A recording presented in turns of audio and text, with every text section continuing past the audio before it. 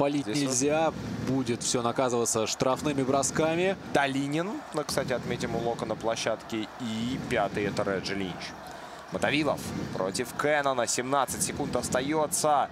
Григорий. Тут высоко Джон Браун поднимается. Херви. Пас внутрь. Реджи Линч! Сравнивает счет. Вот так вот. Да, там под давлением Линча кто-то из игроков Уникса упал. По-моему, И ну, нету Уолтерс. тайм-аута у Прифтиса. Айзея Кэннон имеет шанс э, выиграть эту игру для Уникса. Две секунды остается против Линча. Кэннон и получает блокшот от Миндаугаса Кузьминскаса. И у нас будет овертайм. Ничего себе!